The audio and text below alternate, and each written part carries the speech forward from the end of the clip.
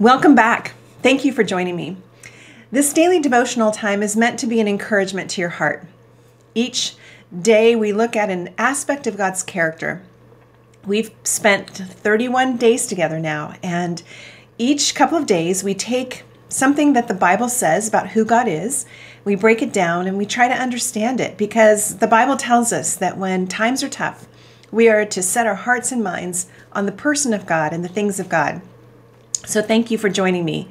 The last time we were together, we talked about how we can enjoy a relationship of peace with God. And we talked about how this happens as we receive Jesus Christ as our Savior. Once that happens, the battle is over. We are no longer at war with God, but rather we're in a relationship of peace and intimacy, actually, a family type relationship where God literally invites us to call Him Abba Father. And of course, once we've made peace with God relationally through Jesus Christ, then we can experience a deep inner peace through the gift of His Holy Spirit. Romans chapter 15, verse 13 says, May the God of hope fill you with all joy and peace in believing, so that by the power of the Holy Spirit you may abound in hope. So, the Holy Spirit is the one who assures us of God's tender love and care for us. And even though chaos swirls about us in this world, there will always be trouble. Jesus says, In this world you will have trouble, but take heart, I have overcome the world. No matter what happens all around us, we are anchored on the rock of our salvation in Christ. And there is a peace that comes from our faith and from knowing that we are eternally secure in God's love. This is what brings great hope and joy to our hearts. One of my favorite passages about the promise of God's peace to those who walk by faith is found in Philippians 4. So I'd love to walk us through some of these passages in Philippians 4 today. Philippians 4, verses 4 through 7 says this Rejoice in the Lord always. Again, I will say, rejoice. Let your reasonableness be known to everyone. The Lord is at hand. Do not be anxious about anything, but everything, by prayer and supplication with thanksgiving, let your requests be made known to God. And the peace of God, which surpasses all understanding, will guard your hearts and your minds in Christ Jesus. I love that it starts by saying rejoice, because rejoicing is an expression of inner joy, which is actually a fruit of the Holy Spirit. Joy is a kind of happiness that's actually an inward response to the presence of the Holy Spirit in our lives. It's not dependent on external circumstances.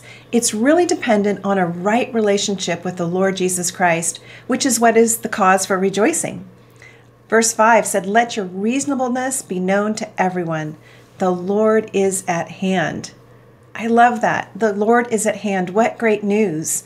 Jesus actually has brought us near to the heart of God. He is compassionate and caring. He sees our circumstances. He knows the pain that sin and suffering bring into our lives. And so he tells us not to be anxious. Verse 6 Do not be anxious about anything. It's interesting, the Greek word for anxious literally means to be pulled apart into different directions. And isn't that exactly how we feel when we worry? We feel pulled apart between faith and fear. One hope pulls us one way, fear pulls us the other way. The old English word for worry literally means to strangle.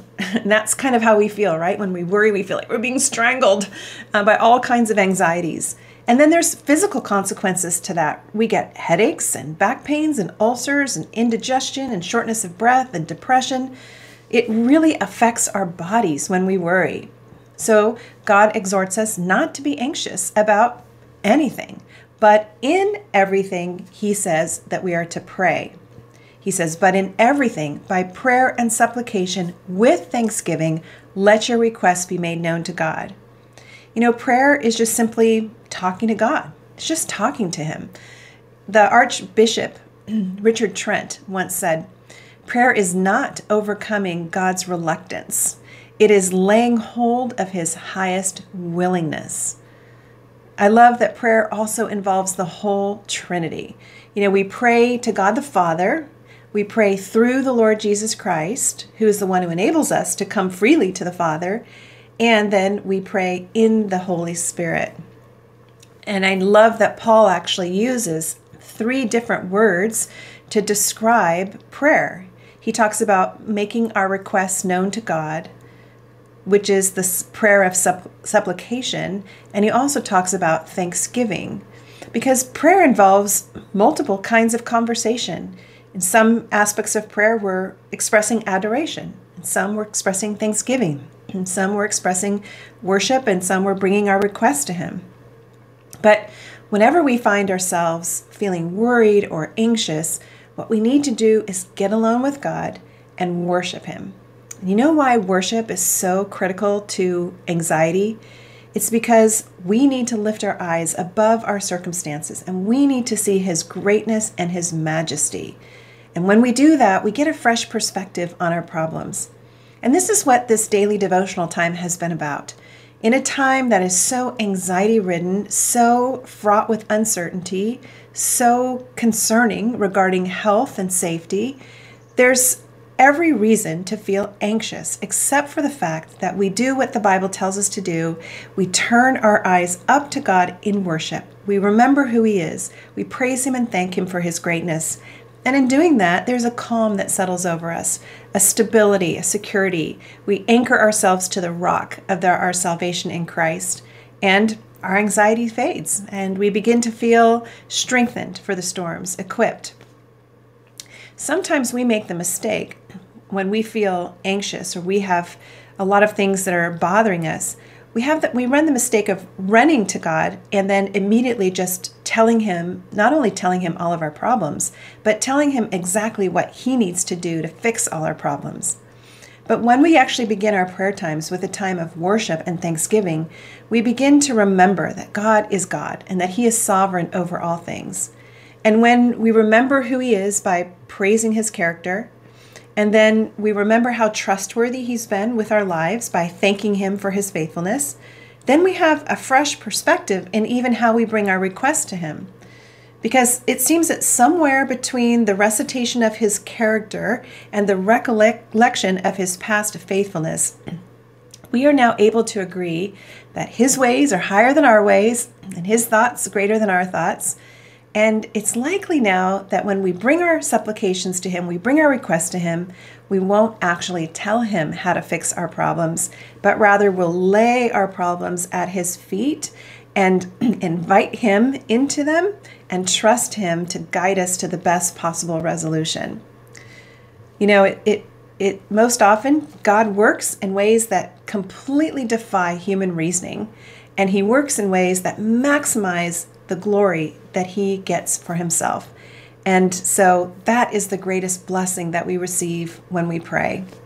And listen to what Paul says. This blessing comes as a result. He says in verse 7 and the peace of God, which surpasses all understanding, will guard your hearts and your minds in Christ Jesus.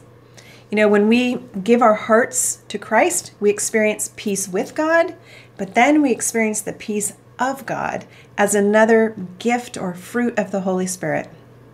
Now, you know, this doesn't mean that our lives become free of any turmoil or that we never have trouble in our lives. That's not what that means. What it means is that we experience this inner assurance of God's presence and comfort in the midst of difficulty.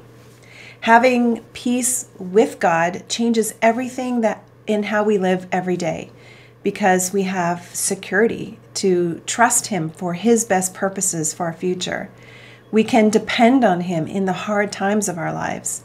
He gives us His wisdom for the really difficult decisions and also showing us how to bring order out of chaos. He assures us of His eternal love and tender care. He gives us grace to navigate challenging relationships.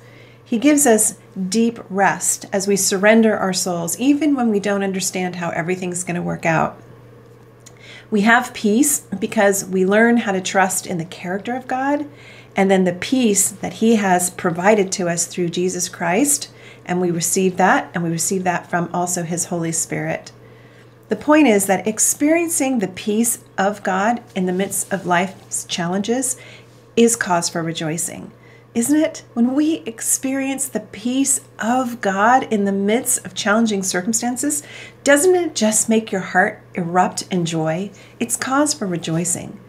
This is the peace that comes from the simple joy of fellowship with Christ. It's the peace that comes with the assurance that everything will turn out well in the end, that God has a plan that He will triumph over all unrighteousness. There will be a time in the future when there will be peace on earth. For sure, that day is coming. There will be a time when peace will have no end on earth. Isaiah talks about that in, in Isaiah 9 7. He says, Of the increase of his government and of peace, there will be no end on the throne of David and over his kingdom, to establish it and to uphold it with justice and with righteousness from this time forth and forevermore. The zeal of the Lord of hosts will do this. So, this is a gift of his grace to us through faith. Now that the war is over, we can come out of the jungle, as we talked about last time we were together, and enjoy the peace of God through the Lord Jesus Christ. So I love how this passage ends in, in verse 9. He says, What you have learned and received and heard and seen in me, practice these things, and the God of peace will be with you. So I think it's important to reimagine peace. You know, peace is not necessarily a place of stillness and beauty and sol- solitude, but it is a state of relationship with God that we are brought near to the heart of God by the Lord Jesus Christ. And as we are brought near, God fills us with his peace through his Holy Spirit. And when we experience peace in the midst of really challenging circumstances, it causes our hearts to erupt in joy. So I want to just pray for you today that God might fill your heart with peace. And in the midst of that peace, you would have real joy. Let me pray. Father, thank you for this time together. Thank you for reminding us that it is your peace in the midst even of turmoil that brings us joy. And we know it's a supernatural thing. We know that it's not a peace because there's necessarily quiet or there is not conflict or not things to be anxious about, but it's as we bring our anxieties to you that you replace it with peace and trust because you are so faithful and your character is full of peace. We're so grateful that we can think about who you are each day, and by worshiping you, our hearts are filled with the contentment of knowing you and being in a right relationship with you. I pray you'd fill our hearts with peace today, and we ask this in the name of Jesus. Amen. So thank you for joining me today. This wraps up our, our exploration of God's peace, but tomorrow we're going to talk about the righteousness of God. So I look forward to seeing you tomorrow. Have a wonderful day.